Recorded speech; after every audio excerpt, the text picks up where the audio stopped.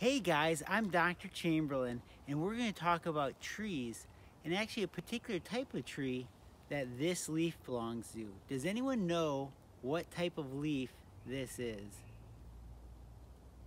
It's a maple leaf and I really love maple trees for a lot of reasons but one thing that's really cool about maple trees is that we can get maple syrup from maple trees and as a class we're going to tap maple trees and get maple syrup from the trees but it's a pretty big process so I'm gonna need you guys to help me out okay? Other than a cool maple leaf that's so cool looking that Canada put it on its flag and maple syrup there's another really cool thing about maple trees and that's their seed.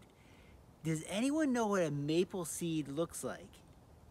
The maple seed I'll give you a hint they're fun to play with probably one of the most fun seeds to play with because they are the helicopters. You know the helicopter you throw up there and they spin? A helicopter is a maple seed. So whenever you see these on a tree, guess what type of tree you're looking at? You're looking at a maple tree because they're the trees with helicopters on them. And I think that's really cool. So seeds come from flowers.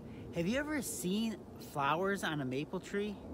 Most people haven't realized that they have because they aren't bright, colorful flowers like we normally think of flowers but they're really um, small and they're green and they're by the leaves. They're hard to see. These little guys are flowers and they come out in late spring. So the flowers get pollinated and then the helicopters grow in clusters where the flowers were. The flowers make seeds and the seeds fall into the ground and they start to grow into a little into a little sapling and you can even see here this still looks like the helicopter some right? And it splits into a sapling and the sapling grows into a big tree. So that's the way I tell say it goes but it's interesting my son says something different. He's like no no no no dad. It starts with a seed and then it goes to a sapling and then a tree and the tree makes the flower but then his sister says, no, no, no, no, you're wrong. It starts with a sapling that grows into a tree, which makes a flower, and the flower makes a seed. But my wife says, no, no, no, no. We have a tree that makes a flower that has a seed that grows into a sapling. So who's right? You were kind of all right. It just keeps going around and around in a big circle. And I think it's really interesting. It's a big circle where it just keeps going round and round making more trees. All living things need energy in order to grow. And plants and animals get energy from different places. Animals, we get our energy from what we eat. The food we eat gives us energy and that lets us grow. Plants, they don't eat food, right? Where do they get their energy from? Well, they get their energy from the sun,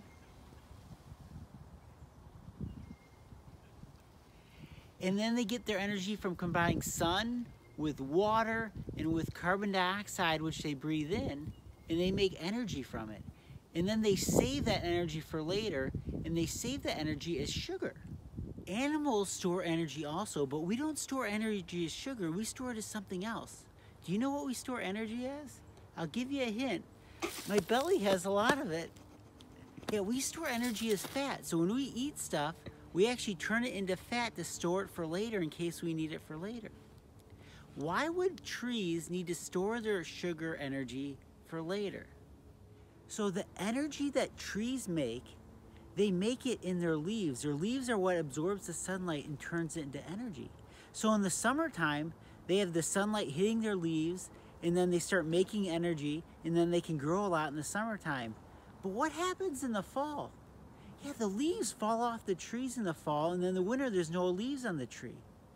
So then when spring comes, the sun's out more, the trees want to grow, but they need their leaves to make energy to grow. So where do they get the energy to grow leaves? Well, they store it. They store the sugar energy way down in their roots.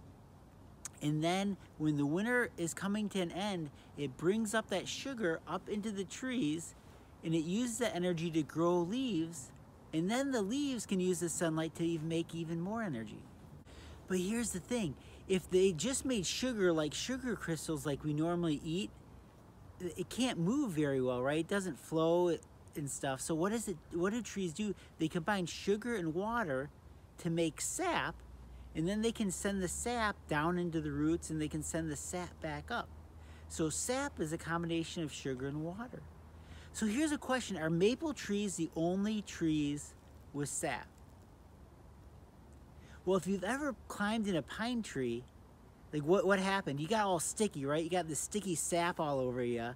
So we know pine trees have it. So, so all trees have some sort of sap. It's just that if you ever tasted pine tree sap, and I have, it doesn't taste very good. It's really, really bitter. But maple trees, it doesn't taste bitter. It tastes really sweet. And so that's why we turn that into syrup.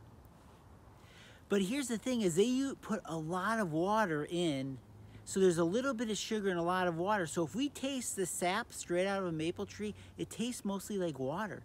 So what we have to do is we have to get all that sap out of the tree. And then once we have the sap out of the tree, we need to get rid of the water. And I'll have another video to talk about how you get rid of the water so then we can make it so there's little water and a whole bunch of sugar so it tastes really good.